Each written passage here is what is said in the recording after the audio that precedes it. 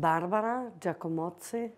Also wir als Familie Giacomozzi äh, äh, sind schon seit der Gründung beim Verein. Praktisch waren seit dem ersten Treffen in Bozen im Krankenhaus äh, mit von der Partie und äh, haben den Sinn in dem Verein, also dass äh, mit den betroffenen Eltern ähm, die, die schwierigen Zeiten und die Probleme zu besprechen.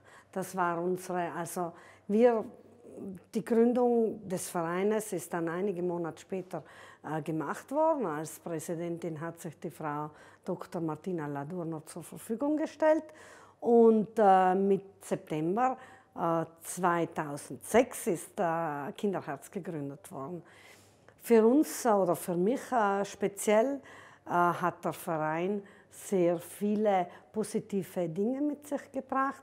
Zuerst haben wir äh, mal ganz viele Leute kennengelernt und über die Thematiken einfach sprechen können.